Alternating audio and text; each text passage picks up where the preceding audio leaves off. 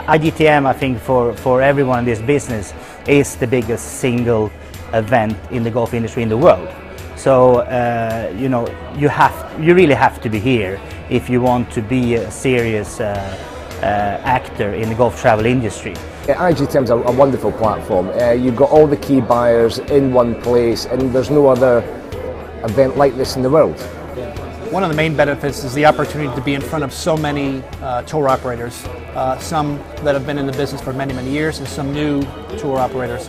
And as a growing uh, destination that's trying to make sure our footprint grows within the golfing world, uh, we want to make sure we stay relevant. And if we're not here, we're going to be missing out on some tremendous opportunities at IGTM. We're literally launched in June 2013, and so last year's IGTM was only a few months after launch. And it was a fantastic opportunity to showcase who we are, explain and demonstrate the product to the trade, to the industry.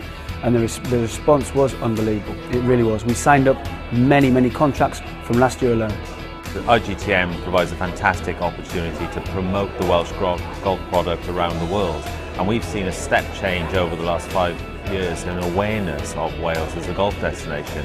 It's important that we continue maintaining our contact with the tour operators on a year-on basis. Uh, obviously, it's very important as well that if we can write new business and meet new people, but it's really important that we show uh, as a destination that we're, we are in this business for the long haul and we want to continue and maintain relationships with the tour operators.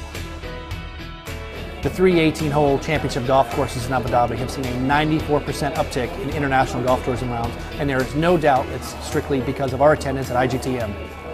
IGTM has to be uh, the number one tr trade expo fair for the golfers and for the professionals in the industry. And there's no question that next year I will be attending IGTM also.